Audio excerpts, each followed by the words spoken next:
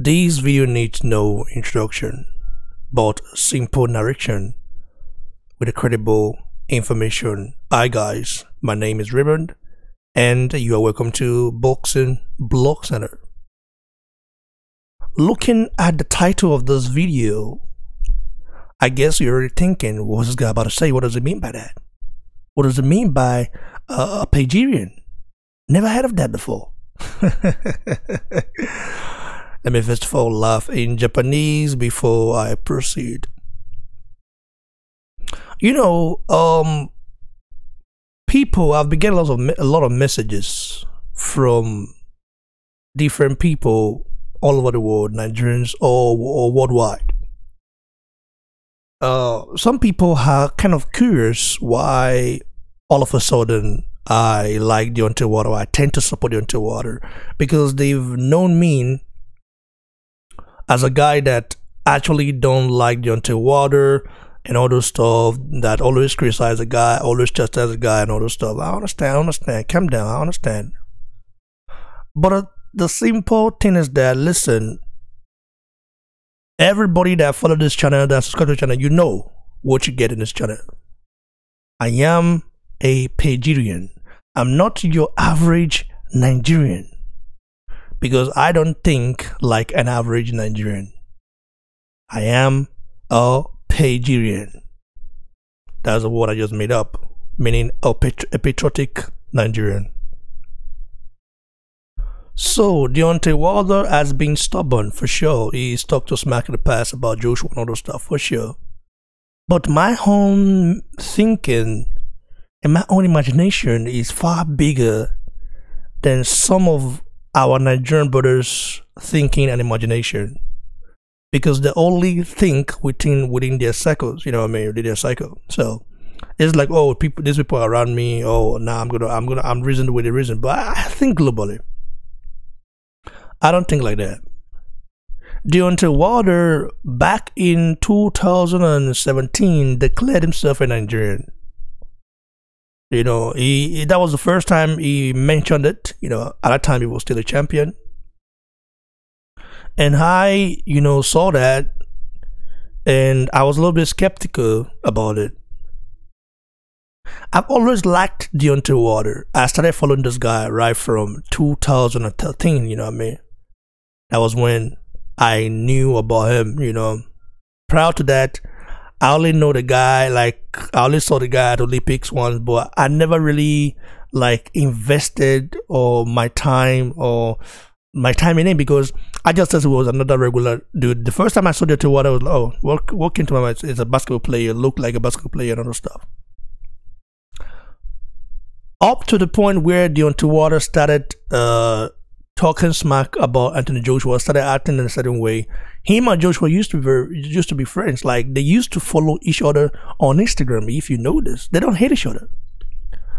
But because of the because of the circumstance, you know, uh, and of course, you know where Deontay Wilder got beheaded uh, by his fans, things turned around. Why do I support Deontay Wilder? Because he has not only has he expressed his love for the continent of Africa, he has also expressed his love many times about Nigeria as a country and as a nation, and he's also proud of where he's from. He said he's a proud Naija boy. Some people took it very personal to the point where you know all those messages I'm getting nowadays and say, "Oh, wow, BBC, why do you why do you all of a sudden like Deontay Wilder?" Deontay Wilder has declared, and if you know what BBC stands for, you understand that I made this channel, I created this channel on the basis of trying to promote our people, and Deontay Wilder is our people. That's just a fact. Because before I came into the scene, okay, African fathers, Nigerian fathers, or the grandfathers were not given the proper recognition. In fact, if you look at how I single-handedly, you know, promoted Efe Ajagba on this platform, you understand what I mean. I've also promoted some other, you know, fathers as well. You know, there are also some who are coming up right now, which I'm going to talk about more. You know, why do I do this? Because these guys don't even get any recognition until they get to the point. Even if they get to, to that point, they hardly get it. They hardly, they hardly, you know, they hardly even get the respect that they deserve. Anthony Joshua, of course, is our son. I'm not claiming Anthony Joshua because oh he's from Nigeria.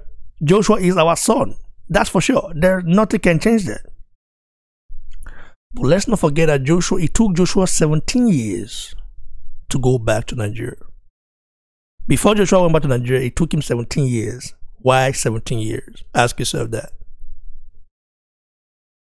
But Joshua's love for Nigeria has never been a doubt because he's always expressed his, his, his love for the country, his love for Africa as a continent, his love for people worldwide.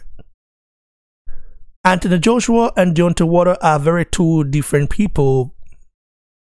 Why are they two different people? Because both grew up in a different environment. Joshua, of course, has the culture of Nigeria and England embedded in him. Deontay Wilder wholly knows one culture, the American culture. And talk about the American culture, you have the black American culture, you have the American culture. The black American culture is very, very different. I'm not talking about the old one because right the old one is like was a very classic culture. Nowadays is a different culture in America within the black community.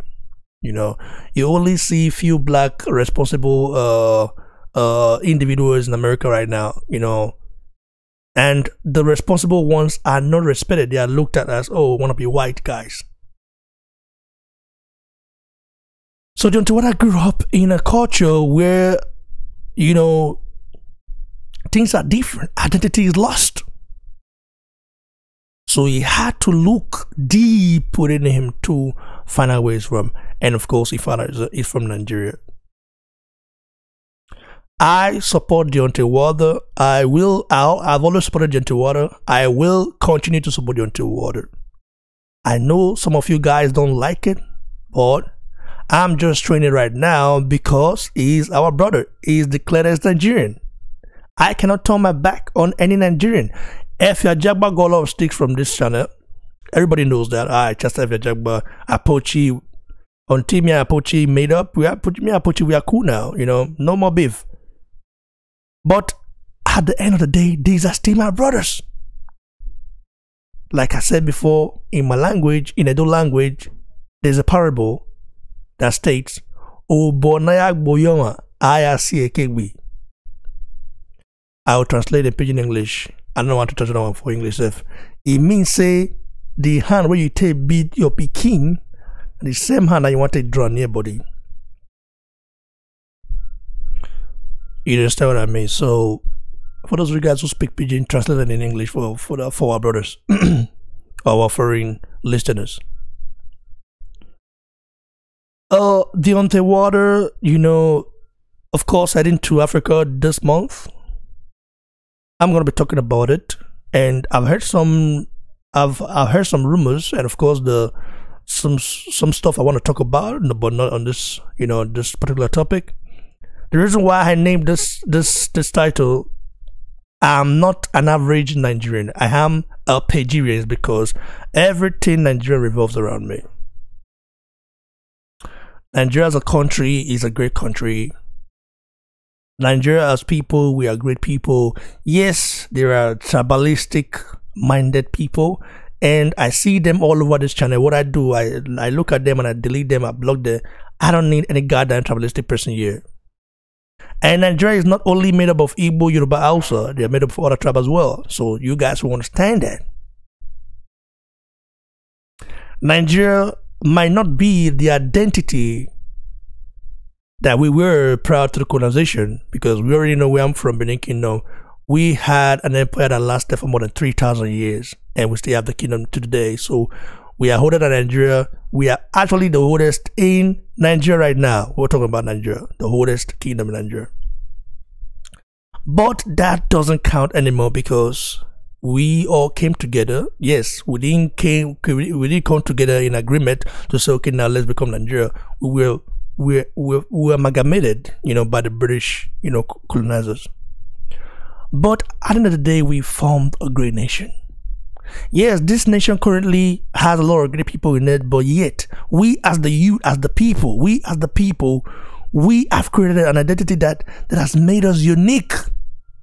If you see an African, uh, uh, an African and a Nigerian elected, you see if there are five Africans standing right now, you will know exactly who's a Nigerian among them because our attitude is different. That has been embedded in us, that has made us unique because we created something unique.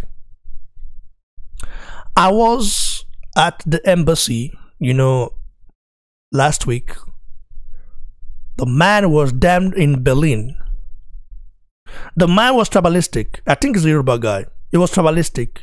I saw how he acted when I asked, you know, to go in, uh, when the other person has to go in. You know, I saw everything that I saw there. And I cannot check my head. But am I now saying, oh, I'm no longer Nigerian? This, no, no, no. I'm not saying that because I know we, the young, the younger generation, we are definitely more, more intelligent for sure, more diplomatic, regardless of tribe. We are more unique than these big hooded, big hood headed vagabonds who have made a country nothing but a mess in a in the political landscape. That's why I always say we need people like Joshua. I don't say when I say people like Joshua, I'm not talking about Joshua himself changing the nation. No, Joshua cannot do it. We Nigerians have to think in a global standpoint because we are great people. And I understand that some of you guys are angry that I am not supporting Deontay Wilder. Listen, if Deontay Wilder continue to talk smack about Joshua, I would definitely go out on him. I would chastise him for sure.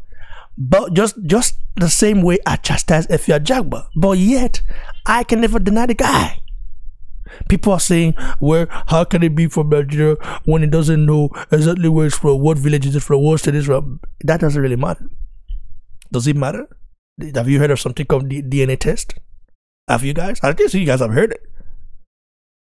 The guy went to do went to do his DNA test, and it was revealed that he's 32 to 40 percent Nigerian. That is a high percentage. And of course, you look at his power, you will definitely see this guy is a Nigerian. And also, he is the reincarnation of Asoro, a warrior from the great Benin Kingdom. But I'm not saying Deontay Wilder is from Benin Kingdom because, you know, we, the Edo people uh, from Great Benin Kingdom, only few of us were taken as slaves. Only our warriors, some of our warriors were taken as slaves, you know. Um, we we managed to fight off you know uh, slavery you know only few of our warriors were taken so if anyone trace traces is um is is lineage to Benin Kingdom, you know that person's father or great great great grandfather ancestors who were warriors who were taken as captives. You know what I mean? That's how it is. Because those warriors fought for the land and fought with your with blood, sweat, with honor to make sure they secure the land, to make sure the people weren't, you know, uh, capped, cap, you know, when uh, uh, uh, uh, uh, used as a toilet paper. So I am a Pagerian. I am a Pagerian. I'm not an average Nigerian guy. An average Nigerian guy will support uh, some Nigerians and leave the order due to the class. I'm not like that. I support every Nigerian, regardless whether you have 2% blood in you, I will support you. That is what we need. We need a mindset of supporting our own people. And we need that kind of mindset to make sure our people excel in every field they are in. I'm not a motivational speaker. I'm just a regular guy. Everybody that know me know me that listen. Everybody that knows me, they know Raymond, I keep things real. You know, I'm just a natural, I'm just an average guy. But an average guy with a mind of a revolutionary.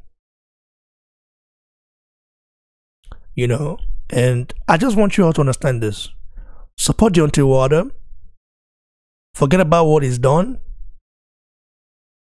Please, I'm just saying, I beg. I beg the beg now. Forget about all the things he said. Support Deontay Wilder. But if he talks smack about Joshua and other stuff, we we go hard on name as well. But let's not forget that we have Israel Adesanya. Israel Adesanya is like Deontay Wilder, right? Am I lying? Israel Adesanya talk smack, a lot of smack, a lot of smack. you know, that's you know that already. He's arrogant, just like Deontay Wilder but yet he still get a lot of love from from Nigerian fans. Why? Why is it like that? I thought we don't we, we Nigerians we don't like Gregor be. You see what I'm saying? But he gets a lot of love from Nigeria, so also show love to Deontay Wilder. Forget the fact that Israel Adesanya can is is a direct descendant of he's a, he's a direct descendant of the Yoruba tribe and he's a Nigerian for sure. I understand that. Wilder is not. But at the same time, his DNA says he has 30 something to 40 percent Nigerian name. So I understand you guys are surprised that ah, oh, BBC support Deontay Wilder now. BBC, BBC, what you don't give yourself. I don't get shishi from any goddamn person. Shishi from any goddamn person. Even for not to support Sefi they had. I say gonna go fund me, make I make I try bring boss to Nigeria. Not not to wanna do. So I'm using my own goddamn money to do all these things I'm doing. At the enter Nigeria soon. Like my money I want to do everything to do everything. I want to go meet some some people from people from streets, try to help them out. Now my money I want to do everything.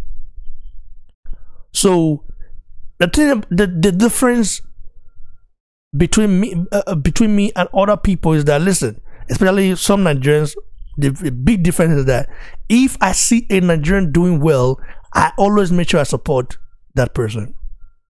How many of you I don't share my video to our Nigerian brothers home and abroad? Say, okay, now I'm gonna go support this guy. I'm gonna go like I'm gonna go to watch the video. I'm gonna go, not, not only me want to do them. But at the end of the day, I also am very grateful for all of you guys to all of you guys who are very supportive of this channel. And I see all of you now, all of you now, when they write, when they, when they write me, I appreciate all of you all. Both the one they dislike the video, both the one they like the video, both the one that, you know, hate me, or both the one that like me, or I appreciate all of you guys because I know one per I know some people right now. I I know some people you know who I've talked to in the past. You know they don't like me. You know because they say this guy they fumble or this guy they form or this guy they do this uh, do that. Guy, now my mouth I get, you get the same mouth like me. Use them. If you also use the same mouth with me I get with, with me I get, they do this kind of where they do so, I go support you because there's nothing for me to egg there, brother. So, like I said before, I am a Pagerian I'm not an average Nigerian. So, guys, thanks for listening. Like the video, share, subscribe. And if you like what you just heard, you know what you have to do. Stay blessed, guys. Cheers.